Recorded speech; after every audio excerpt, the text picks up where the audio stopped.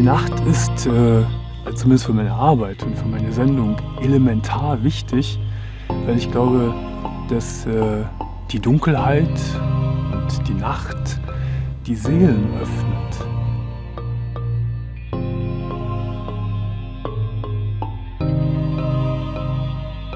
Und hier ist der Klaus und Klaus ist 54. Guten Morgen, Klaus. Klaus. Äh, ich habe folgendes Problem. Ich habe heute dein Thema gesehen. Ich bin schuld am Tod eines Menschen. Mhm. Äh, dazu wollte ich erstmal sagen, ich habe einen Menschen getötet aus Habgier. Da warst du 18 Jahre. 19. 18 Jahre, ja, richtig. Und das verfolgt mich immer noch.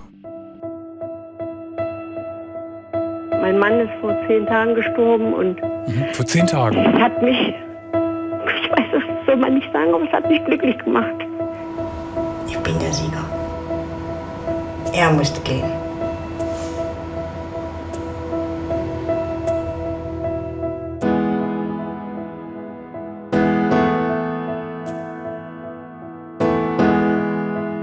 Ich fahre jedes Jahr im Sommer nach Lappland. Ich fahre ins Licht, dort geht die Sonne nicht unter. Und ich fahre in die Stille. Und das sind die beiden Dinge, nach denen ich mich während des Jahres so sehr sehne. Ich danke dir, Tod, dass du dir die Zeit nimmst, dich mit mir zu unterhalten.